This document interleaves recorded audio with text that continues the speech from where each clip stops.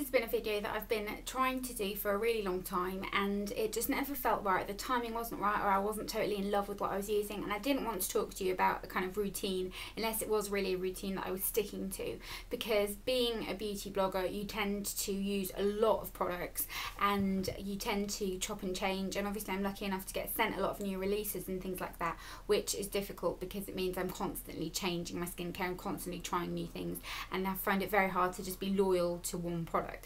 So I had to kind of cut down and really focus because my skin was being a little bit temperamental. Now I'll kind of talk you through my issues in terms of my skin.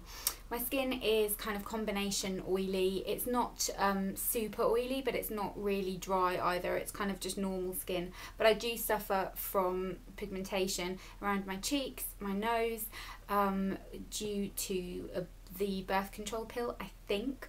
So a lot of um, products are kind of targeted at that, and I also suffer from dull skin. My skin can tend to look very dull and lifeless, so I like to use products that really help to inject that kind of life and luminosity back into the skin.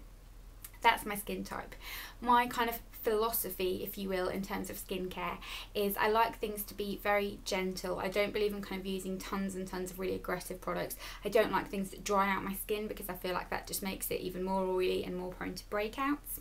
I think cleansing is the absolute key and I think that using a serum is really beneficial and sunscreen is a non-negotiable for me. I wear sunscreen even in the snow. I think it's really, really, really important to wear sunscreen. So that's kind of my philosophy in terms of skincare. In terms of products, I don't think that everything has to cost an arm and a leg. I think there are some great affordable products, but I do think that sometimes um, you need to kind of really look into what you're using and investigate a little bit the ingredients and that type of thing of what you're using. And also, I know that a lot of people are kind of um, in mixed minds with skincare. I think there's kind of a trend at the moment on YouTube and blogs going around that using cleansing balms is key, and also a kind of trend in that. Um, like using sunscreen, you can get sunscreen from your um, foundation, that's fine. I don't believe in that. I think using sunscreen is the most important thing, and I think that nothing um, ages you like the sun, and I don't want my skin to age badly so I really do believe in wearing sunscreen. That being said obviously uh, disclaimer not everything in this video will work for you this is just my routine and I'm going to talk you through what I use in the morning and what I use in the evening. So first of all I'm going to talk you through my morning I was using routine. the Clarisonic in the morning but I stopped doing that a long time ago. I've really cut back on how often I'm using the Clarisonic and I do feel like my skin's kind of better for it but I use a kind of gentle scrub in the shower in the morning and this is the Una Brennan Vitamin C Gentle Daily Micro Micro Polish Wash. It's got very small beads in it. Um, it smells beautiful. It smells really kind of lemony and zesty and lovely and it just really, really did help to brighten my skin. It just kind of applies beautifully. You can massage it in and it just makes your skin feel awake and gives it a nice luminosity. And I think that's the absolute key when it comes to kind of skincare and aging and that kind of thing. Um, let me know if you want me to do a video about kind of anti-aging products and kind of my um, opinions on it and that kind of thing because it's something that I'm very, very interested in. But I really, really like this, I will definitely repurchase this when this is all gone. So I'll do that in the shower on a clean face, obviously. And then for toner in the morning, I'm all about the kind of toning mist. I love that. So I'm using the Balance Me Skin Brightening Hydrating Face Mist. I love the packaging of this. It smells lovely. And I just kind of spritz a couple of spritzes of this on my face and let it sink in while I'm getting dressed or whatever it is that I'm doing. And it really helps to brighten my skin and kind of gives it a drink. I feel it kind of makes it feel like it's um, plumped up again, so I really recommend this. There are kind of cheaper options of this though, like the N-Spa one's really nice, but I do really like this one. And then I go in with a serum and I'm really, really into serums. They're kind of my go-to product and I really enjoy using them. My favourite, favourite morning one that again I will definitely repurchase is the L'Oreal Skin Perfection one.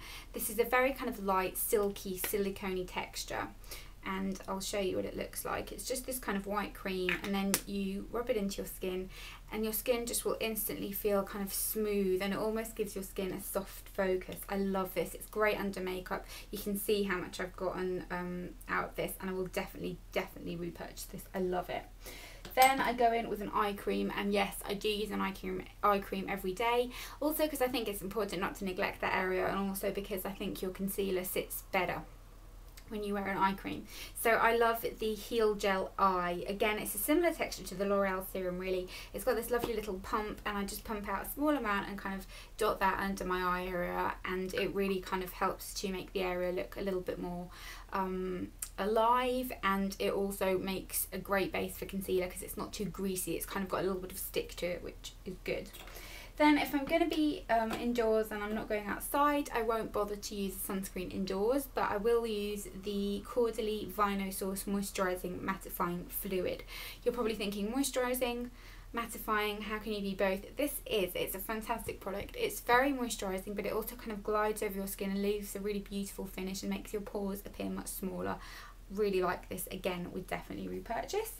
And then for sunscreen in the morning, I have been going for the Soap and Glory Make Yourself Youthful Sun Shield Super Fluid SPF 50. I haven't been using this for very long, I will admit, but I do know that I like it.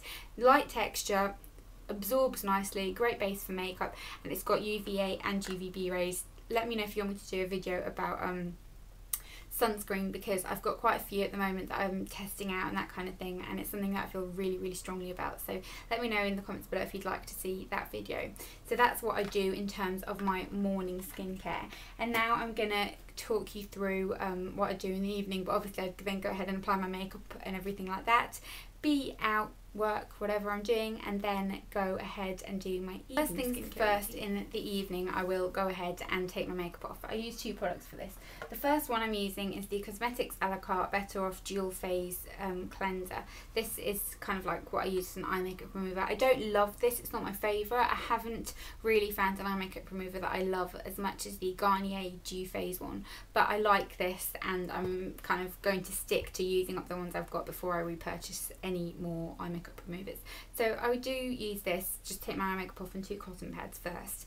Then for the rest of my face, I go in with the Body Shop Chamomile Cleansing Oil. This is really nice and I would repurchase this. I am I think after I finish this, I'll maybe try the L'Oreal version because I've heard really good things about that. But really, really nice. So I'll do a kind of two pumps all over my face, massage it into my skin. It breaks down all your foundation onto my eyes as well, and it doesn't aggravate them, and it just takes my makeup off beautifully. If I'm not wearing much makeup and I've just got a little bit of something on, then I'll use something like the Garnier Micellar Water. But usually when I'm wearing kind of like a full face of makeup, oil is the way to go. And this one's lovely and I love the fact it comes with a pump. Then I'll go in with my cleanser and the cleanser I've been using for a while now is Soap and Glory Peaches and Clean. This is a new one I've just started using. It's got kind of different types of fruit acids in it and things like that and it just helps to really leave your skin looking bright and lovely and it smells great. So I'll use this and then I put it on kind of all over my skin. Let it sit there for just a couple of minutes because I feel like that helps brighten your skin. And then I'll remove it. Now, I haven't been using the Clarisonic every single day. I stopped doing that because I felt like it was just getting too much for my skin. And I feel like my skin's been a lot less um, red since I've since I've been doing this.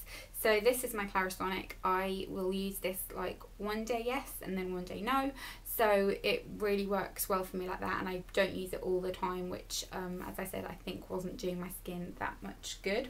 It's a little bit too abrasive. Then instead of a toner in the evening I was using a kind of alcohol toner with brightening agents and that kind of thing but I felt again that was making my skin look a bit red and I've really wanted to simplify things down and make things a bit more gentle. So I've been using the Caudalie micellar water I really like this, um, but I don't know if I'd repurchase this. There are a lot of cheaper versions that I like equally, like the L'Oreal one. I like this equally, so I'll use these kind of instead of a toner, get rid of the last scrap of makeup, and I really like them. So that's kind of what I use afterwards. Then I go in with my nighttime serum and I'm using the Ren Radiance Perfection Serum. This is an interesting product because it's not my favourite in terms of texture. It's kind of got a little bit of a sticky texture but it does really help to brighten your skin. My skin looks a lot more even since I've been using this and the pigmentation on my skin is not going to go away until, I don't know, I see a different pill or I've tried so many different things but I won't bore you with that. It's got a slightly sticky texture and it's not super moisturising. I couldn't just leave this on on its own. I'd have to top it off with a moisturiser but it has helped to brighten up my complexion a little bit um, and it just really helps to kind of make your skin look healthier again. Then I'll go in with my eye cream, and this is my favourite eye cream. I will definitely, definitely repurchase this.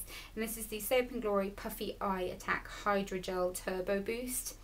looks like this and this is just so so good it's really light and gel like but it sinks in it really helps to kind of depuff the area and it's just a beautiful beautiful beautiful eye cream I absolutely adore this and then last but not least for my kind of night cream, I like to use something a little bit lighter during the kind of spring months. And this is the Elemis Fresh Skin Day Cream. I have got the night cream of this, which I used in the winter, but I'm using the day cream at night. And it's just a nice, gentle, light moisturiser that can be used kind of whenever. And it helps to kind of just keep my skin looking nice and fresh. And I always give my skin a massage while I'm applying my moisturiser as well. So that's it, that's my skincare routine. Let me know in the comments below if you'd like me to do the video, like I said, about anti-aging and what was the other one? The sunscreen video. Um, let me know if you'd like me to do those and any relevant reviews or anything I've got for any of these products, I will link below.